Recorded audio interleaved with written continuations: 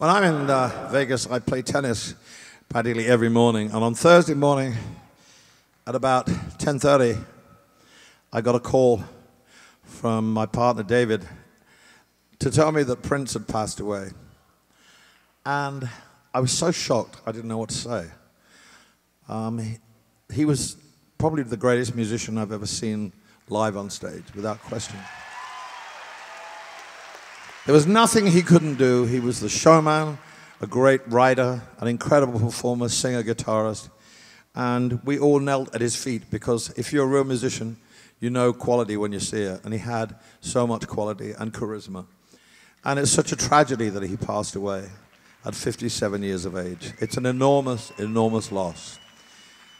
And uh, I got uh, to sing with him a couple of times, once in Las Vegas and once in London. And uh, he was doing a show at the Rio called 3121. And uh, we stay in apartments, and he was in the opposite apartment to mine. And I would get up at 8.15 and go and play tennis, and he'd be coming in from playing all night. And uh, we'd meet outside the elevator and, and uh, say hi to each other. Um, and I wanted to pay tribute to him just for this week because these people don't come around very often. And um, anyway, I just want to say you're a purple warrior.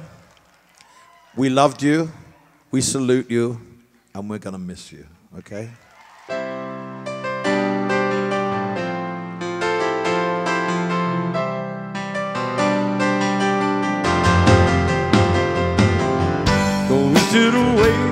don't look at it like it.